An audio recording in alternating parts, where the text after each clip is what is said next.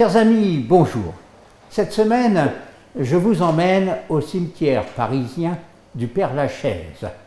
C'est un cimetière où se côtoient depuis plus de trois siècles des tombes de modestes, de gens simples et les sépultures plus remarquées de nombreux personnages illustres, anciens et contemporains. Certaines de ces tombes se distinguent particulièrement par leur originalité monumentale, euh, ornementale, exprimée par la pierre ou le métal, par leurs épitaphes, ou encore par leurs somptueux caveaux, voire par leurs monumentaux mausolées. C'est ce qui concourt au charme de ce vaste cimetière qui, très ombragé, invite aussi à la promenade méditative, mais qui attire aussi chaque année de très nombreux visiteurs.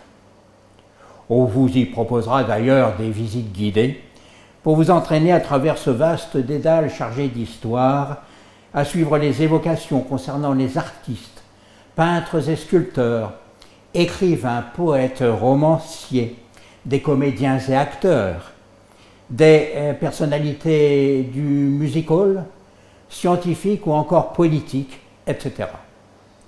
Et ceci depuis le XVIIe siècle, et même un peu avant, jusqu'à nos jours.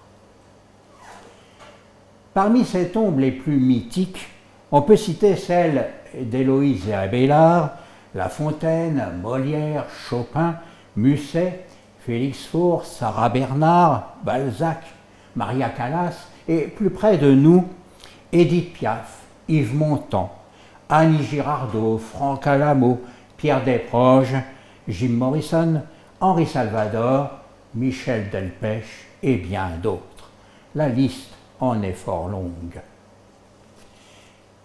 Mais il y a aussi, outre les familles qui viennent de temps à autre se recueillir sur les sépultures de leurs chers et regrettés disparus, des habitués, sortes d'initiés ou d'idolâtres, euh, qui viennent plus régulièrement s'adonner à de curieux rituels, souvent inattendus voire surprenant. Des comportements qui m'avaient discrètement amusé lorsqu'il m'arrivait de montrer le cimetière de temps à autre à quelques personnes de mon entourage. Dans les années 80, c'était alors à quelques pas de mon domicile parisien de cette époque. Parmi ces sépultures sur lesquelles se recueillent tous ces anonymes, l'une d'entre elles arrête forcément le bas d'eau c'est la tombe de Victor Noir et son fameux magnifique gisant de bronze. A priori, le nom de Victor Noir ne vous dira pas grand-chose. On serait presque même tenté de dire qu'il s'agit là d'un illustre inconnu. Et pour cause, hélas, il n'aura pas vécu suffisamment longtemps pour marquer davantage de son nom l'histoire mais c'est sa tombe et surtout son gisant qui expose sa mémoire à une véritable adulation. Mais alors, qui était cet homme, Victor Noir, et pourquoi? Yvan Salmon est né le 27 juillet 1848 à Attigny, un petit village des Vosges, près de Vittel. Fils d'horloger, attiré par l'écriture et le journalisme, il publie des articles très engagés politiquement qu'il signe sous le nom de Victor Noir, notamment en empruntant le patronyme de sa mère, Joséphine Élisabeth Noir. Mais avant de poursuivre, il faut se rappeler que le XIXe siècle est une époque où les Français se déchirent entre des gouvernements successifs, issus tantôt de la tradition royaliste, à travers les règnes souvent éphémères de Louis XVIII, Charles X et Louis-Philippe, entrecoupés de périodes de troubles animées par des soulèvements populaires comme les révolutions de 1830 ou 1848, et encadrés par les premiers et second empires napoléoniens.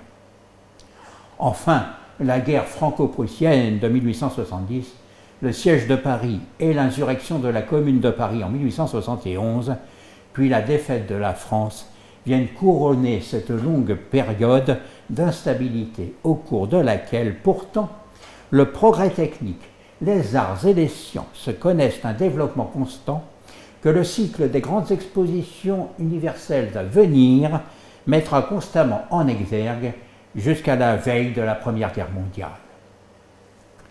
Ceci pour expliquer que si la France s'enlise alors dans des déboires politiques, elle excelle en revanche dans de multiples savoir-faire. Revenons à Victor Noir. À l'âge de 19 ans, il est déjà un rédacteur très en vue dans le monde médiatique de cette époque, euh, notamment euh, au journal euh, La Marseillaise, journal républicain, dont il devient rédacteur en chef à partir de 1868. Or, voici qu'un de ses confrères, un dénommé Grousset, publie un article diffamatoire dans un journal corse contre le prince Pierre Bonaparte, petit-neveu de Napoléon Ier et cousin de Napoléon III. Il s'ensuit une vive polémique animée par les opposants au pouvoir impérial et forcément orientée contre la famille Bonaparte et les bonapartistes. Le 10 janvier 1870, vers les 2 heures de l'après-midi, Grousset et Pierre Bonaparte doivent s'expliquer au domicile parisien du prince au 59 rue d'Auteuil. Peut-être même qu'un duel au revolver, très certainement, reste envisageable, ce qui est très à la mode en ce temps-là dès lors qu'on a un mail à partir avec quelqu'un.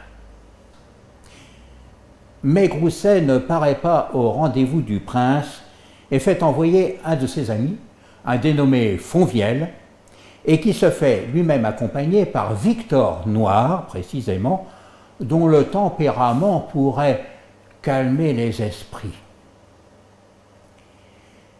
Les deux hommes sont introduits dans le salon du prince qui, surpris de l'absence de Grousset sur lequel il comptait, se tient sur la défensive. Mais au bout de quelques minutes d'attente, Pierre Bonaparte s'emporte et dégaine son revolver pour chasser les deux hommes. La discussion s'envenime contre Fonvielle, qui souhaite attendre encore un peu, et le prince. Le prince Pierre Bonaparte, sans pour autant vouloir attenter à la vie des deux visiteurs, tire deux premiers coups de feu vers le plafond, puis un troisième qui crève un fauteuil, un quatrième qui éclate un vase en cristal posé sur un guéridon, et un cinquième qui, par chance, frôle le visage de Fonvielle et va crever un tableau. Victor Noir, qui était là pour pas grand-chose et qui s'était abrité derrière un fauteuil, se redresse au moment où la sixième balle tirée par Pierre Bonaparte le touche en pleine poitrine. Ce solide jeune homme de 20 ans, en pleine santé, titube et se laisse entraîner à la hâte par Fonvielle jusque dans l'escalier. Mais Victor Noir s'affaisse soudain et son corps ensanglanté roule sur les dernières marches.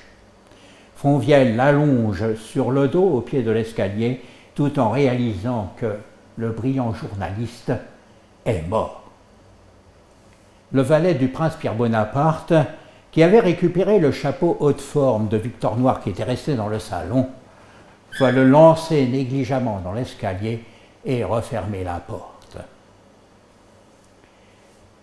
La nouvelle du meurtre de Victor Noir se répand alors dans toutes les classes populaires comme une traînée de poudre et ranime forcément les passions. Ceci à tel point qu'on rapporte qu'au cours de ces obsèques, le cortège funèbre s'est retrouvé noyé dans une véritable marée humaine entre recueillement et protestation. Les plus proches du corbillard auraient soi-disant dételé même les chevaux pour pouvoir hisser eux-mêmes la voiture jusqu'au cimetière de Neuilly. Le prince Pierre Bonaparte sera finalement acquitté, et c'est en 1891 que les restes de Victor Noir seront transférés depuis le cimetière de Neuilly jusqu'à celui du Père Lachaise, là où maintenant je vous emmène aussi. car c'est une fois inhumé là que le défunt Victor Noir va prendre une dimension tout à fait inattendue. Dès lors que le sculpteur Jules Dalou, grâce à une souscription publique demandée par les mouvements populaires après la chute du Second Empire, aura créé, coulé et installé un superbe gisant de bronze légèrement surdimensionné sur la dalle de granit. Jules Dalou est un artiste renommé pour le soin particulier qu'il porte au rendu des détails, à la fois vestimentaires et anatomiques de ses personnages, qu'il érotise aussi tant qu'il peut. On raconte qu'il aurait ébauché le gisant de Victor Noir en modelant un corps nu sur lequel il aurait rapporté et retravaillé le vêtement. On peut le croire car le gisant, qui représente la dépouille du jeune homme, tel que les croque-morts l'auraient trouvé, est d'un réalisme saisissant. Le personnage est allongé sur le dos, bras et jambes légèrement écartés, bouche ouverte, et le chapeau à ses pieds semble tout disposé pour recueillir des offrandes. La poitrine est débraillée, la plaie est visible, les mains sont légèrement ouvertes. Enfin, un détail n'échappe à personne, Dalou, épris d'érotisme, comme je disais, a pris soin de bien affirmer la virilité du personnage qui transparaît sous le pantalon. Et c'est ainsi que la tombe de Victor Noir, ce jeune journaliste méconnu, fauché à 20 ans par une malheureuse balle de revolver tirée maladroitement par le prince Pierre Bonaparte, pour une histoire dans laquelle il n'avait pas grand-chose à faire, va devenir un lieu de visite très prisé des femmes en mal d'enfants ou en recherche d'amour, et même parfois de messieurs en panne de plaisir.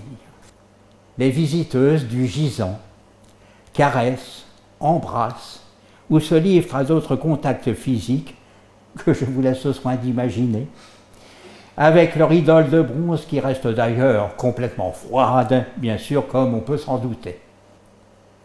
On ne sait pas vraiment depuis quand ces rites sexuels euh, particuliers existent, mais il est fort probable qu'ils aient traversé tout le XXe siècle, tant les parties ainsi honorées, euh, front, nez et bouche, euh, mains, poitrine et bien sûr l'incontournable bosse du pantalon sont perpétuellement brillantes, lustrées, faisant ressortir tout l'éclat du bronze poli.